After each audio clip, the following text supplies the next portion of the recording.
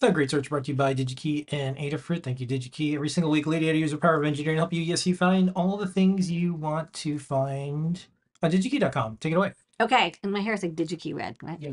Um, okay, so this week I worked on uh, this design, which is a uh, underboard for, oops, uh, sorry, an underboard for uh, the Raspberry Pi Pico. And um, Was saying like, oh, you know, I have a STEMMA QT connector and a reset button. So I squared C and resets easy. And then I have an enable switch. But I also wanted to add um, battery charging, 'cause especially for the Pico W, it's wireless. Maybe you want to have like a IoT thing that runs on a battery with battery charging.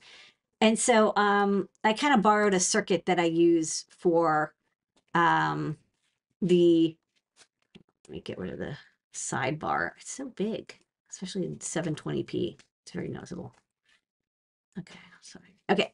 Um, I borrowed the circuit that I use for um, the feather boards, which uses an MCP 73831, um, has two LEDs, one for charging red, one green, which is like done. And then um, capacitors, you can set the uh, uh, charge rate with a resistor. Um, and then there's like a pass transistor. But I realized I never actually covered uh, LiPo chargers. And so um, even though I use this one, by the way, there are a lot of other options on DigiKey. But even this one has a lot of like, especially during the part shortage, uh, you got to really watch out. Not all numbers are the same for this part. There's a lot of like dash XYZ that you might want to watch out for. So let's go to uh, DigiKey and search for battery charger. So what we want is a battery charger that will charge 3.7 nominal, 4.2 volt max batteries from USB, because that's what we're getting, like five volts in. And I want something inexpensive that can also, it doesn't require I squared C to set up. It just is set by a resistor. Because a lot of the really fancy chargers um, have like I squared C or they have one Y or whatever. I don't want, you know, where you can do all sorts of configuration and like also monitors the battery. I want something like cheap and easy. Um, and again, resistor set. So you set the resistor, and then here I have my little guide that reminds me um, what what you set it to in order to um, set the the charge rate. And you know, um, I'll be honest. Actually, this says one amp. This this charger actually can't do one amp, which we'll also talk about. There are some other chargers that can. So let's uh, go here, and then we'll look for battery chargers. Okay. So there's like big battery chargers, there's battery management, but we want battery charging chips. So let's go here. So there's there's 3000, there's quite a few. Um and you know they come from anything like DFN and SOCT to like they can get a lot of pins and very complicated, you know, they come in BGA also. So let's just uh try to pare down this massive number. We're only going to look for the active items. And we're only going to look for ones that can handle one cell. Because there's some that do two or more. And then I'll also get, I'll pick up the dash as well. Um, and then uh, let's just, uh, well, we, we only want surface mount. And let's just say we only want in stock.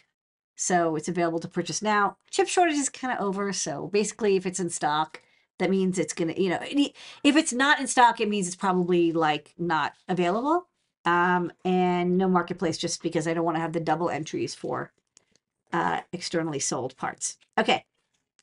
Next up um so the battery i'm using is a lithium ion slash polymer battery and um there are other chemistries available but pretty much you know i'm to pick up the dash just because who knows lithium ion and polymer. Lithium iron phosphate, I think, is something different. Multi chemistry.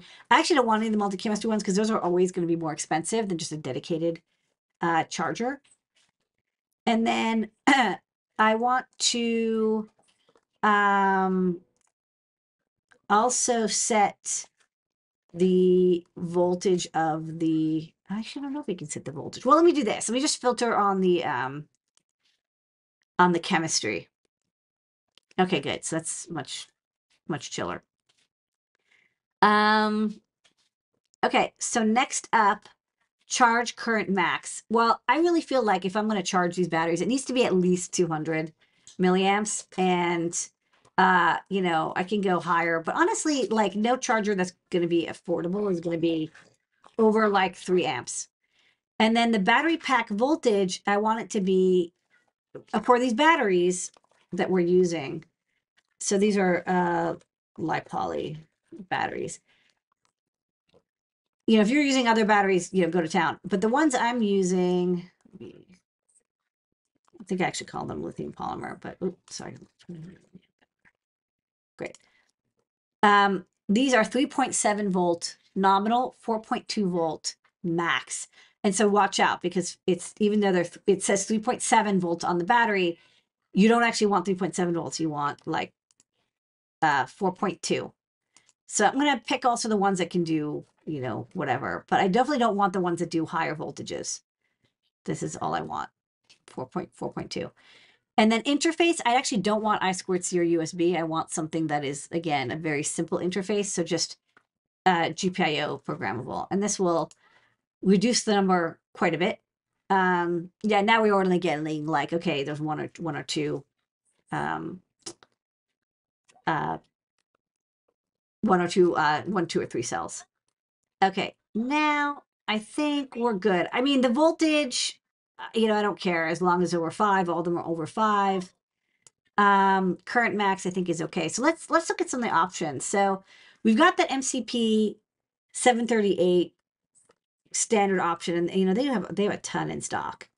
Um there's also the 832 but there's and they have them also in dfn but there are other families. Um i'll say the bq bq series from ti they're quite good.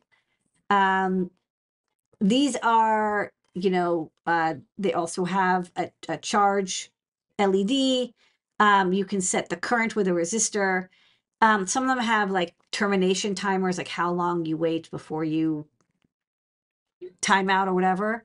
Um they also have a power good output. So you know the more pins you get the more options you're going to get. And this also has a temperature reading which i'll say you know if you're if you're charging at a higher if if it's if you are going to have people with um batteries that are charging at a very high rate uh like 1c or above it's not a bad idea to have a temperature monitor especially in like a production product.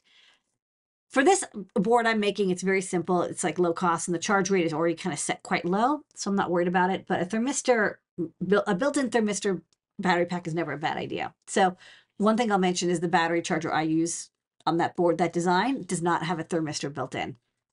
It's a good idea especially if it's going to be used outdoors because at um, very low and very high temperatures you do have to change the charge rate. There's also um, st has you know a nice low cost battery charger. One thing that is nice about this one is it does up to 800 milliamps, which again, the charger I'm going to show does not do 800 and it's very simple. It just has like LED program, power in, battery. It's like there's something quite nice about it. Um, and I like that it has a little bit higher input supply voltage max up to 10 volts. Not that you should use 10 volts, but like sometimes I've seen people like they plug in like some random off the shelf you know usb power adapter and it like kind of floats a little bit above five volts and sometimes it can actually get popped kind of rare but it does happen one thing that i'll say that is i've never seen is a battery charger chip that is reverse battery protected which would be kind of cool because i do one of the things i and and in in this small package at a reasonable price because i do see a lot of um customers they end up we warn people like 8 billion times do not buy batteries from Amazon that are the opposite polarity. And then people are like, I plugged in this battery that I bought from Amazon. And then I realized it's reverse polarity. Did I damage it? And I'm like, yeah, it's dead. Like, you, you- it's like, but they're like, I unplugged it within like a minute. And I'm like, it- it's done within like 10 microseconds. You can't, you can't unplug it fast enough. Um, that'd be cool. If anyone knows of a battery that does that, you know, or a battery charger that does that, let me know. But this one is nice because it does 800 milliamps. Um, but the one I tend to use is this uh get the part number correct. 73831, which is available um in it's kind of the one they have the most of. And there's a couple different ones in this family. Or first off, they have a DFN version if you want smaller. But there's a 31 and the 32, and then also there's like these letters afterwards, and you do have to watch out for these letters.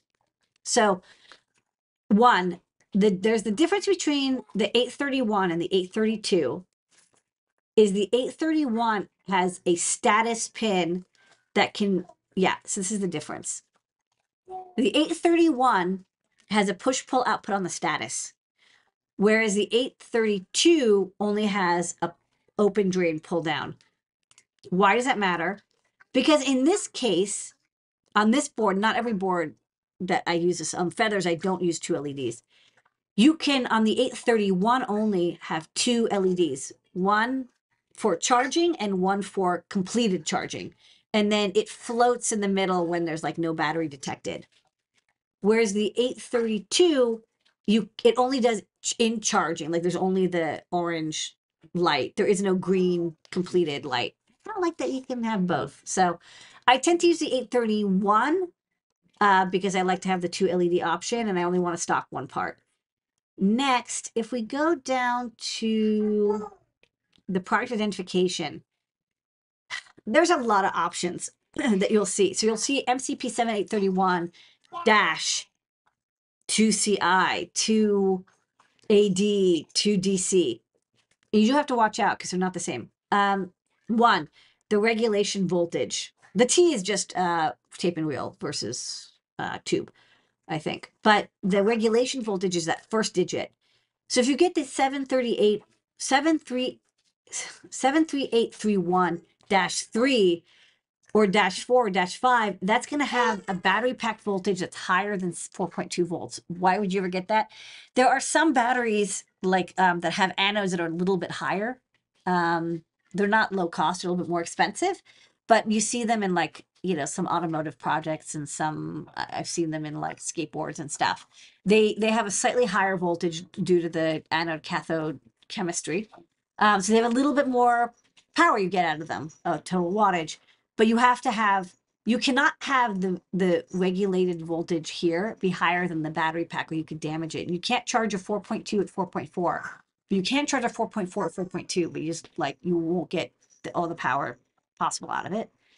And second, there is um, the termination voltage versus the regulated voltage, and this has to do with when you first if you have like a dead battery or very very low battery you sort of trickle charge it until it gets up to like 3.2 3.3 volts. So like you know there's a little bit of like how much current versus you know the max amount of current and then like how long do you do it for whatever. Uh you know that's not as important. So i've sometimes used the ad instead of the ac because it's like you know it's like so closely related um, but do check which one. And then there's two packages. There's the DFN and the OT. That said, the one I use the most, again, it's like kind of the standard, standard issue is like, again, I like the 31 and, uh, two C, two AC means 4.2 volts. AC is kind of our like default, um, termination current, uh, trickle current. And it's in stock in DigiKeys. So let's just put on dark mode. Yeah. And it's in stock and it's like you know pretty cheap like 60 cents per. Um some people are like why don't you use like the really cheap inexpensive like 20 cent chips that are available that are like you know from like random ass companies? Uh and the answer is you really don't want to like go cheap on your battery charger.